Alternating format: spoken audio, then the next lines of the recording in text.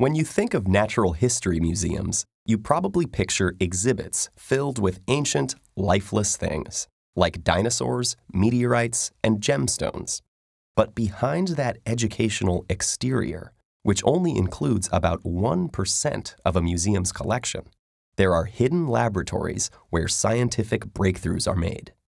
Beyond the unmarked doors and on the floors the elevators won't take you to, you'd find windows into amazing worlds.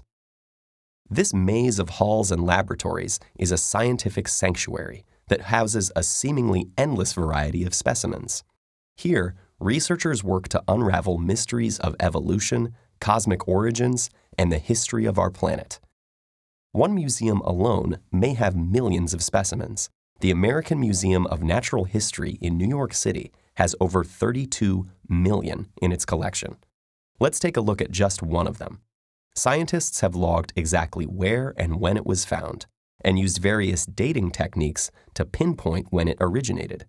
Repeat that a million times over, and these plants, animals, minerals, fossils, and artifacts present windows into times and places around the world and across billions of years of history.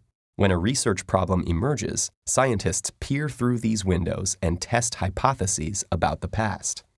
For example, in the 1950s, populations of predatory birds like peregrine falcons, owls, and eagles started to mysteriously crash, to the point where a number of species, including the bald eagle, were declared endangered.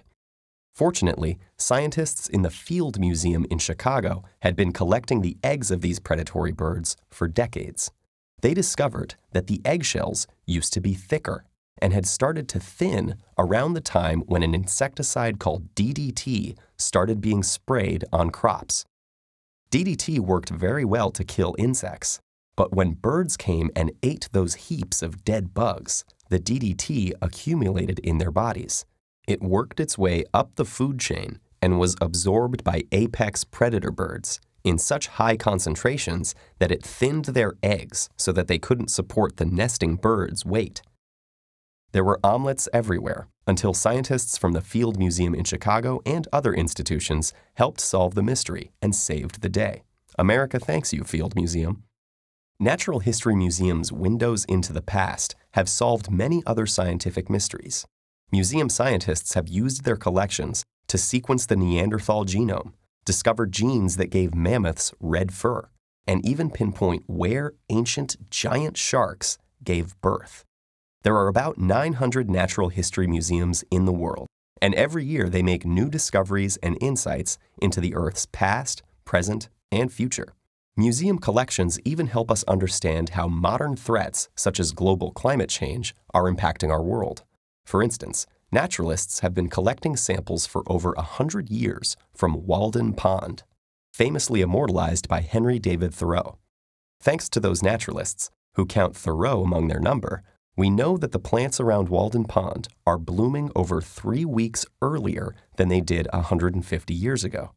Because these changes have taken place gradually, one person may not have noticed them over the span of a few decades.